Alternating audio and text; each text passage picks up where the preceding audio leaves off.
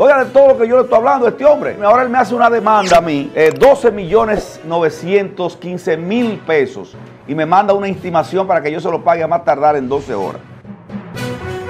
Saludos, ¿qué tal? Bienvenidos sean todos una vez más a este su canal de noticias, así en fuego, a fuego, net.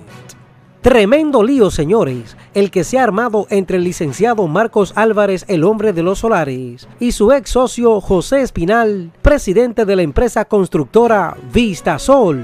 Este último ha demandado por la suma de más de 12 millones de pesos al licenciado Marcos Álvarez. Escuchemos toda la historia. Oiga de todo lo que yo le estoy hablando a este hombre. Y entonces en esto es que vengo a referirme. Ahora él me hace una demanda a mí. Me hace una demanda de que yo supuestamente le debo eh, 12 millones 915 mil pesos y me manda una intimación para que yo se lo pague a más tardar en 12 horas. Como yo, yo no sabía hasta ahora que él era prestamista, o sea, que él me prestó 12 millones de pesos a mí, ¿de dónde está ese préstamo que él me hizo? Ahora, de algún lado salió eso, porque tampoco él se lo iba a inventar. ¿De dónde salió eso? Póngame una foto de donde él está cuando nosotros terminamos el contrato que él me sacó de la empresa. Que no fue que yo renunciara, él me sacó.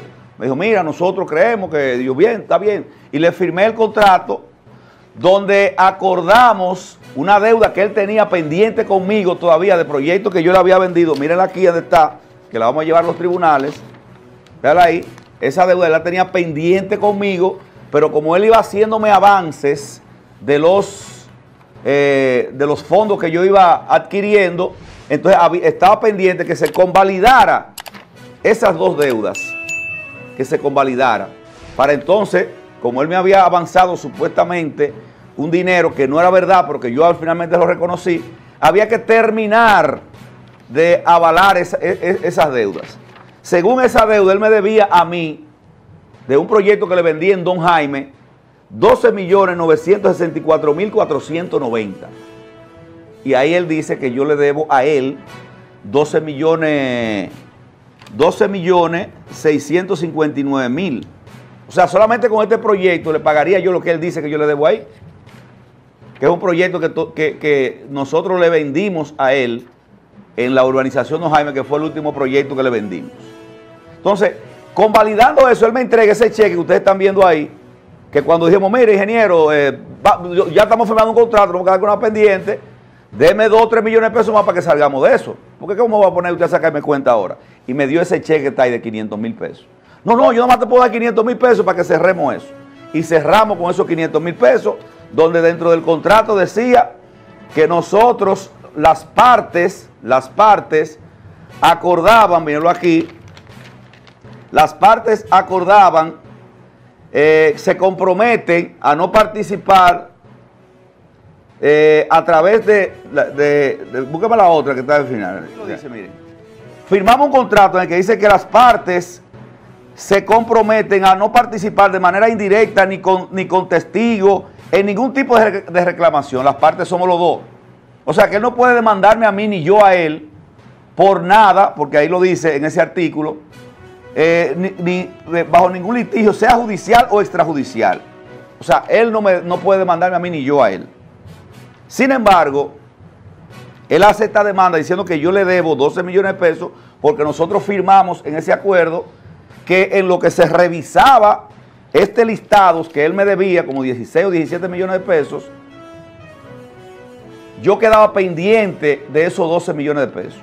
Pero que solamente con ese proyecto que ahí está, porque la contable un día antes me dice, mire, las cuentas se convalidaron y usted quedó a deber 3 millones de pesos, 3 millones, que yo no quedé a deber nada porque como que yo te debo y tú todavía me das en la foto que aparece ahí 500 mil pesos.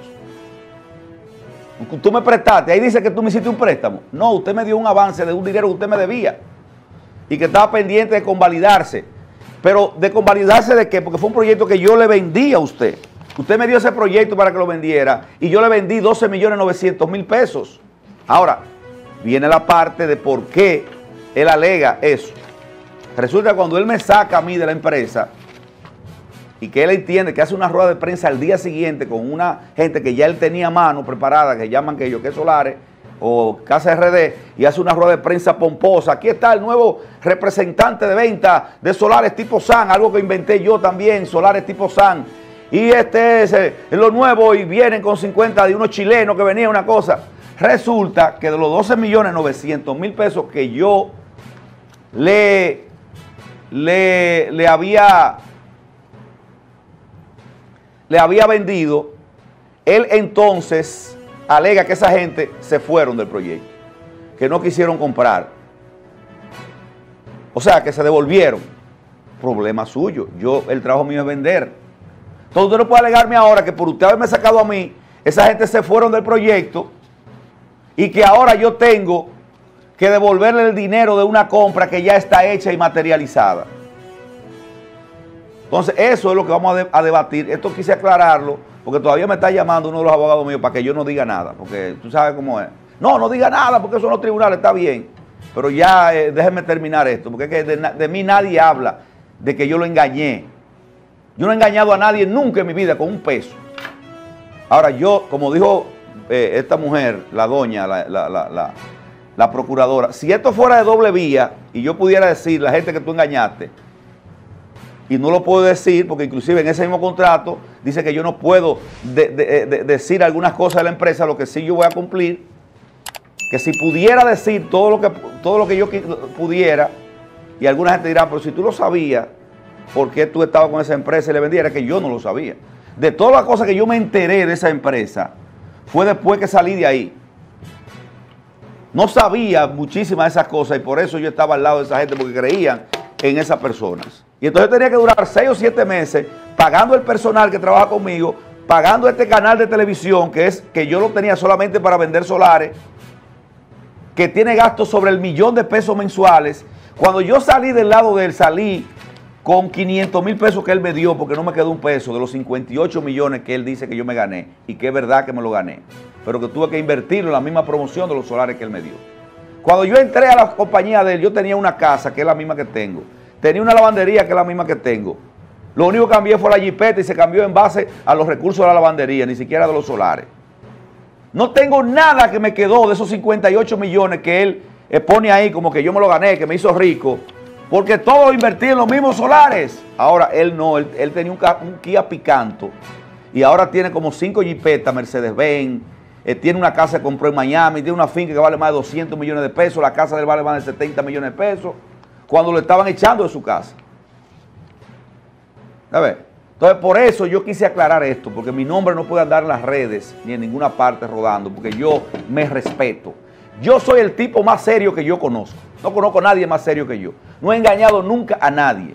Y por eso no voy a aceptar intimidación.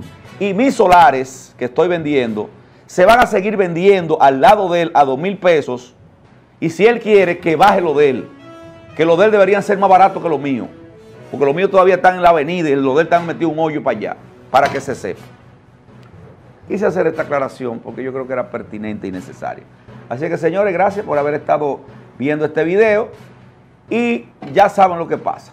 Marco Álvarez nunca se ha desviado, no le debe un chile a nadie, nunca ha engañado a nadie, ni piensa hacerlo nunca más. ¿Y ustedes? ¿Qué opinan sobre todo este lío que se ha armado entre estas dos personas? No se vayan sin dejar su opinión. Sigan con nosotros, haciendo fuego a fuego net, con las mejores informaciones.